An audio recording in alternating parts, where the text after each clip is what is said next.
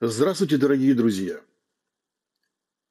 Хочу развенчать иллюзии некоторых людей по поводу того, что камера фоны с их замечательными качествами фото и видео заменит вам вашу фото-видеотехнику относительно дорогого сегмента.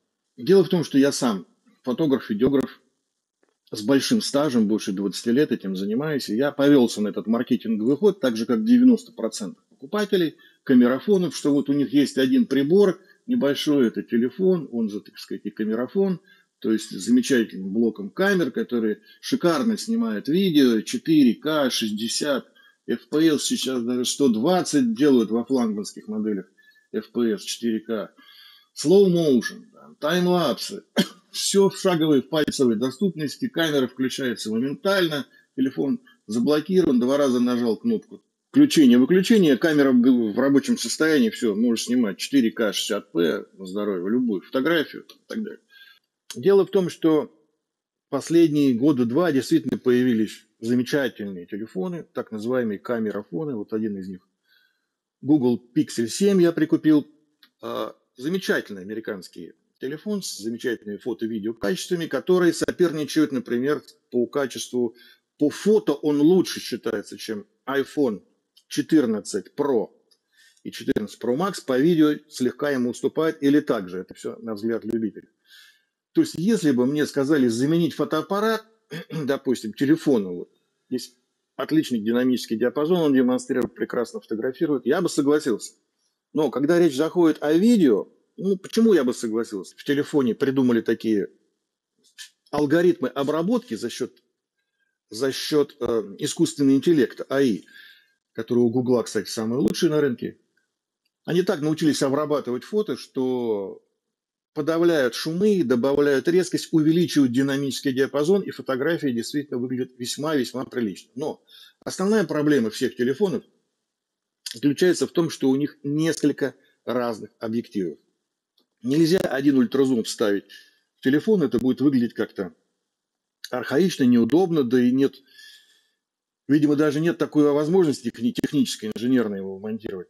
Поэтому всегда ставится несколько. Здесь в данном случае три объектива, с этой стороны один, и разные матрицы под разные объективы, разные матрицы. Хорошие, профессиональные матрицы, а сейчас уже ставят дюймовую матрицу во флагманы таких производителей, как Sony, Sony Xperia Pro i или э, Xiaomi 14 Ultra или э, Poco или Vivo. Вот их несколько буквально моделей. iPhone, к сожалению, нет. У них нет дюймовой матрицы. Несколько моделей на пальцах одной руки можно посчитать, куда уже умудрились дюймовую матрицу впендюрить, такая, как в этой профессиональной камере Panasonic Lumix FZ1000 Mark II. Вот моя камера основная рабочая. Здесь дюймовая матрица. Но если здесь на всем протяжении фокусного расстояния от там, 22 до, э, до 560 на 4К э, подвигается труба, и матрица одна и та же, дюймовая, то есть качество картинки не меняется, то в телефонах хорошая матрица стоит только на основном объективе, который бывает 23 миллиметра и возле того, вплоть до 30 миллиметров, здесь, по-моему, миллиметров 25 стоит в Google Pixel 7. И все. На остальных матрица или из этой же матрицы кропается в, данном, в данной модели теле телевик, да, то есть он берется часть матрицы основной. В Pro версии там дополнительный объектив стоит телевичок, длиннофокусный там своя матрица, но они уже гораздо хуже, то есть меньше, да, то есть полдюйма там и меньше даже, чем полдюйма. Естественно, в тенях вы будете наблюдать шумы. Естественно, качество картинки будет хуже.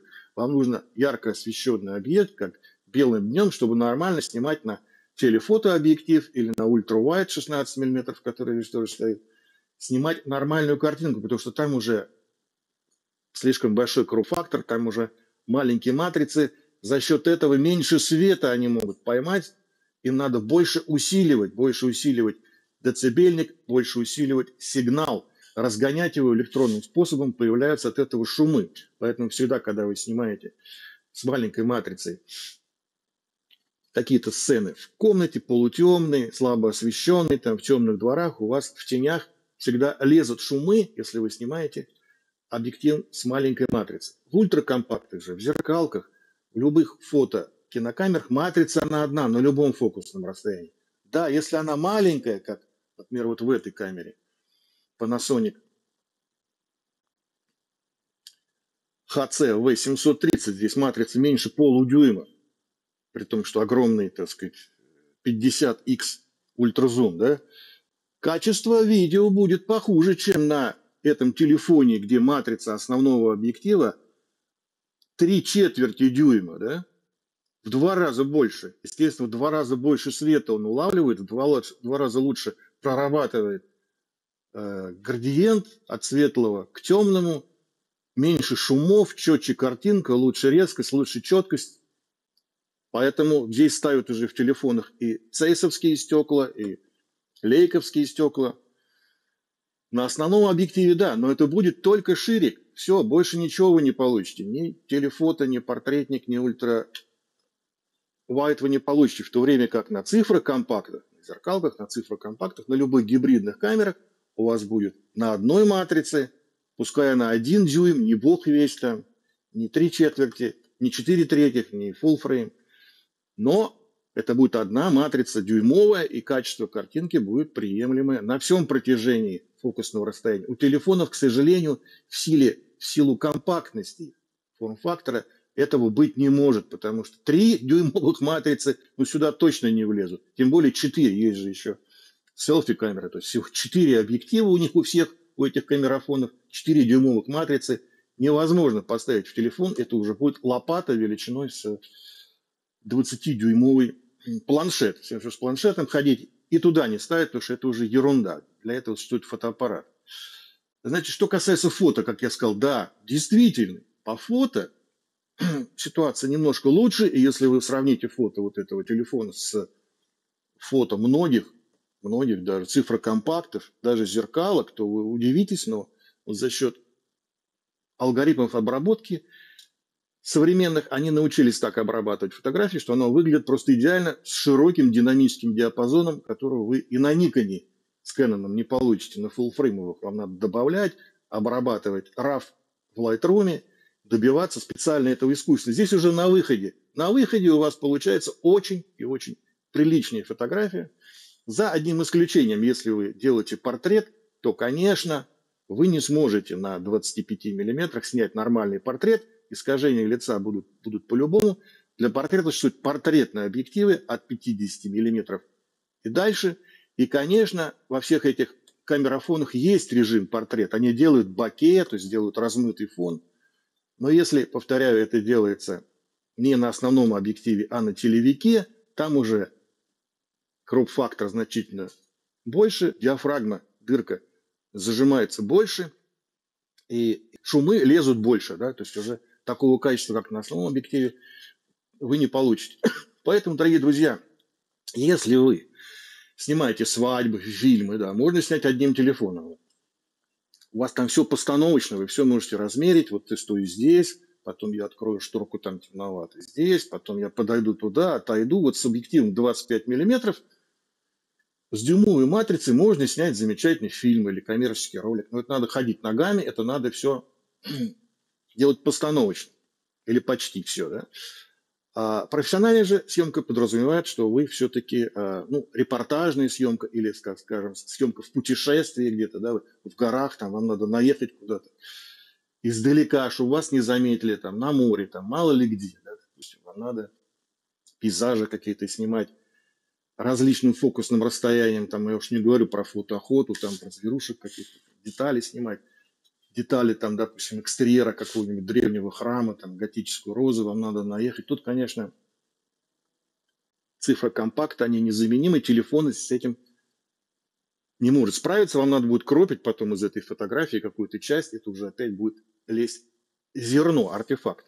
И то при этом, при всем, я согласен, что фото, фотоаппарат может заменить телефон. Сейчас легко. Если вас только фото интересует, то берите Google 7 или лучше Google 8 Pro какой-нибудь и флаг вам в руки. Тем более он дает скрытность, есть объекты, куда нельзя зайти с таким кирпичом, да, вас сразу заметят, скажут, что здесь фотографировать нельзя, там в церкви, например. Церковь сюда висит объявление, где перечеркнут фотоаппарат. С телефоном же, я так много раз делал, человек заходит, на него никто внимания не обращает, тебе надо что-то снять, там тебе что-то понравилось, какой-то вид, там луч красивый падает, там еще что-то. С телефоном замечательно снимается, получается прекрасное качество, лучше, чем на фотоаппарате. По видео, к сожалению, по видео так не получится. То есть по видео в тенях, в тенях, даже на основном объективе, вот здесь я пробовал, делал тесты, сравнивал его с этим агрегатом. В тенях он справляется гораздо хуже. В полутемной комнате все равно лезут шумы, видны артефакты, видна работа шумодава. То есть для широкого диапазона задач телефон всегда все равно не годится. Вот в светлое время суток поехать одним днем куда-нибудь в Переслав-Залесский, насниматься фото можно, видео замечательных, вообще лучше не надо тащить такой вот кирпич с собой, да, под него специальная сумка, там над ним трястись, чтобы он не промок, чтобы вы не украли, не уронил там. Ничего этого не надо. Но взять так вот, купить телефон и выбросить все свои камеры и сказать, что вот я теперь хорошо живу, тоже не получается. К сожалению, это маркетинговый ход. Телефон не может заменить собой видеокамеру, да по-настоящему даже и фотокамеру, конечно, по диапазону возможностей. Фотокамера, конечно, с разными объективами. Здесь один фикс хороший, вот 25 миллиметров, а фотокамера, тем более со съемным объективом, она позволяет различную оптику ставить, и длиннофокусную, и краткофокусную, и широкоугольную, там, фишай там, и так далее, телевики. Поэтому профессионалы, конечно, на телефон снимать не будут. Хотя, повторяю, есть такие примеры, в Ютубе их полно на просторах интернета, где замечательные снимают клипы, даже фильмы, даже фильмы, шот-фильм, короткие фильмы, короткометражки, замечательно снимают на телефон с таким качеством, что когда поначалу я посмотрел, я подумал, елки палки что я делаю с этими кирпичами, давно их на помойку выкинуть надо, купить нормальный телефон, с ним жить. Нет, не получается, тем более есть еще один минус, он греется все через 4К, если вы снимаете в течение часа и больше, то вот этот блок камер у меня достаточно серьезно нагрелся. То есть палец тут долго держать не получится. Вот. Нагревается, нагреваются эти, эти микросхемы, там матрицы, когда 4К, 60 FPS, там и долго снимаешь, там час и больше. Это греется, это не в плюс, конечно. Долгожительству матрицы и агрегата в целом это не прибавляет. Тут нет возможности поставить кулера такие, как в больших камерах, понимаете, где все свистит, там, слышишь, что что-то крутится, там, кулера или что-то там, стабилизаторы какие-то, что-то там все время происходит у них внутри. Форм-фактор ограничивает возможности оптики, возможности объективов, матриц в телефоне всегда. И всегда, а единственное правило, запомните, оно всегда работает, никогда не бывает, когда все в одном лучше, чем все по отдельности. Кроме тех случаев, когда вам действительно нужна компактность и скрытность. Да? Вот компактность и скрытность. Скрытно снимать или небольшая цифра, цифра, цифра компакт или, так сказать, телефон – идеальный вариант. Да? допустим, людей снимать там, на рынке, там, на митинге. На... Поэтому, дорогие друзья, от, от задач, конечно, зависит, но удовлетвориться одним телефоном по видео возможность взамен всех своих видеокамер, маленьких и больших, я, к сожалению, не могу. И вам того не советую, не обманывайтесь. Это все маркетинг. Телефон – это прежде всего телефон, ну, может быть, где-то фотоаппарат, но в значительно меньшей степени это видеокамера. На этом я заканчиваю. Всего вам доброго. До новых встреч. Да, а может, все-таки телефон-то получше будет.